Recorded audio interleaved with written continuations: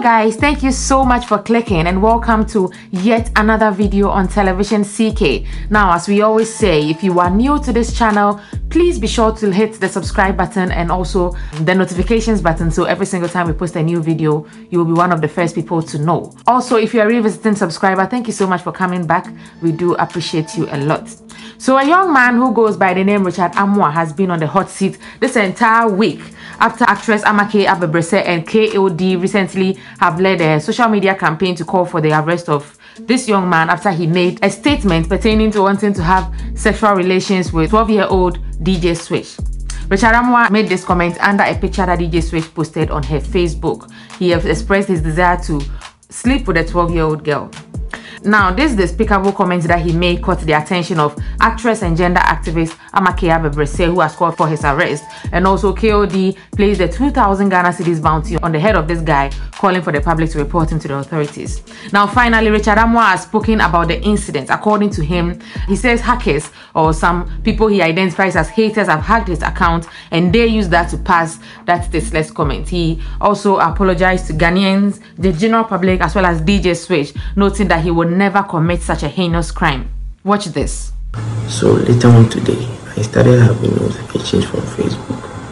I'm not someone who's always on the social media because I'm a very busy person. I merely have time for my phone.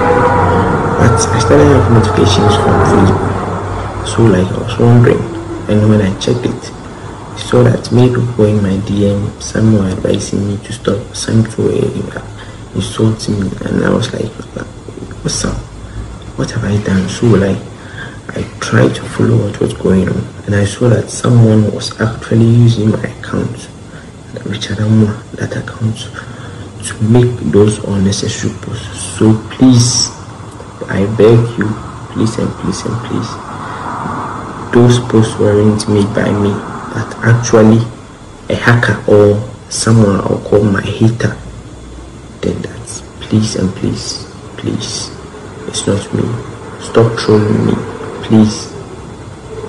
DJ Switch, you could be my younger sister. I can do no such thing to you. Please. Please and please. Alright, so that was Richard Amoah apologizing to Ghanaians and saying that some bad guys hacked his Facebook and used it to uh, make that comment under DJ Switch's photo. What do you guys think? Should we believe him? I mean, this hacking excuse doesn't really make sense at all. I mean, come on, he's Richard Amoah. Who knows him enough to hack his account and then use it to make comments under DJ Switch's picture? What do you guys think? Should we let it go and accept his apology and believe the story, or just should we drag this issue on a little longer to, you know, kind of teach him a lesson? What do you guys think? Moving on, Ghana's very own Ibra One has come out again to attack Honorable Kennedy Agyapong this time around he's saying that a man a Kennedy Agyapong your mother in no name fan ada free. Remember not too long ago when Honorable Kennedy Agyapong was coming after some leaders uh, on his television station, that's uh, Net2 TV. Ibra asked Kennedy Agyapong to stop, otherwise he was going to, to expose him and some of his illegal dealings. He also went further to threaten his life as well as that of the president.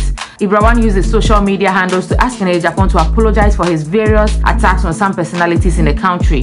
He also told Kennedy Agyapong to issue a public apology or die mysteriously together with the president. Now, in several rants and posts, he also accused the MP of having a hand in the death of an undercover journalist as well as the Buakwa North MP, JB Danquah Adu. He also alleged that the business mogul and MP was also into money laundering and had secrets which he didn't want exposed. But Kennedy Agyapong was not amused by what Ibra had said and said Ibra would be arrested and investigated. According to him, Ibra 1 was now on his radar and he will be monitored 247 until his arrest by Ghana security operators. Now, this banter between the two also got a lot of social media users talking, you know. But while most people say Ibra is no match for the outspoken MP, others were also eager to know how the banter will play out. A lot of people jumped on Honorable Kennedy Agyapong's team, while others were on Ibra's side. After a while, the feud between the two seemed to have died down until Ibra recently posted a picture of himself and a young and a certain unidentified lady saying that he had had sex with her and Kennedy Agyapong had also had sex with her. According to him, he had sex with the girl for free, though others pay very expensively to have sex with that particular girl. He wrote, Most of the girls you pay huge amount of money before you have all me before for free. They asked me not to snap them because they you also. You are an old man and can't last in bed, so they take your money and come and me for free. Next time, go sit on your TV and disgrace any leader, and I will also start to name some of the girls both of us have. We all know how to do kiss and tell, just that we are protecting some people's images. And don't forget, a couple of months ago, when the politician threatened to expose Ibra and get all his cars seized because he was a fraud guy, don't forget that his brother Abbas pleaded on his behalf, noting that he was bipolar. So, do you guys believe that maybe he is indeed bipolar and what he's doing is, you know, as a result of his mental illness or whatever? You guys should let us know your thoughts in the comments. Whose party are you on? Kennedy Agyapong or Ibra One? And do you think this is even necessary at all? Moving on, Ghana's very own controversial Afia Schwarzenegger has made a comment that has got social media users talking. Now, Afia Schwarzenegger says her sons want to marry women like her when they grow up and are of maritable age.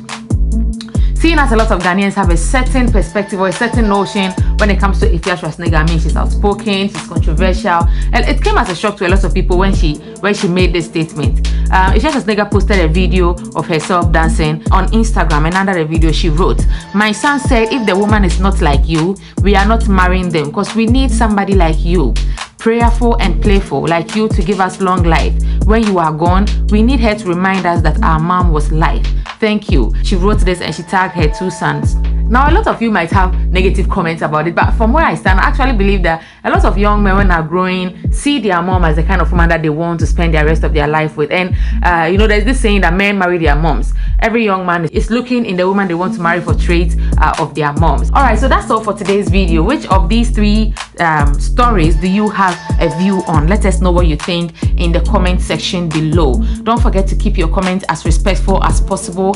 And also, if you have not subscribed to Television CK, please be sure to do so and hit the notifications button so that every single time any video drops on this channel, you'll be one of the first people to know. Also, don't forget to give this video a big thumbs up if you did like it and see you in the next video.